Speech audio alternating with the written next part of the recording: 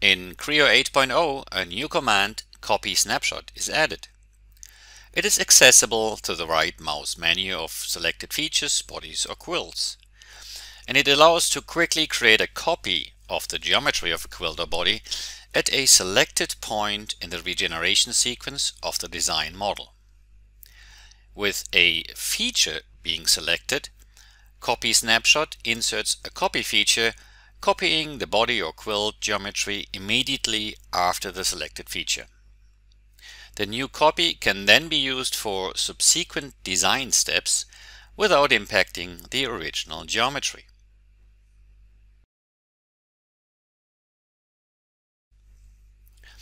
In case of situations that prohibit insertion of a feature at that exact location, as for example in case of the selected feature being part of a pattern, the copy feature will be inserted into the first possible point in the regeneration sequence that allows feature insertion. If the copied body or quilt is already consumed at the fallback insert location timestamp, the feature will be created and marked as incomplete. When selecting bodies or quilts, the behavior depends on the status of the body or quilt. For consumed bodies or quilts, Copy Snapshot inserts a copy of the quilt or body in the state it was before the respective consuming feature.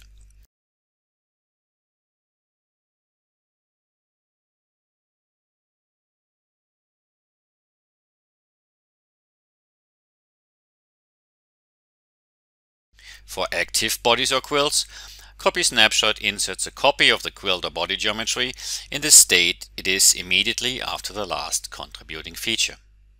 Overall, Copy Snapshot allows for faster creation of geometric copies of bodies or quilts without the need to perform rollback and roll forward workflows using insert mode.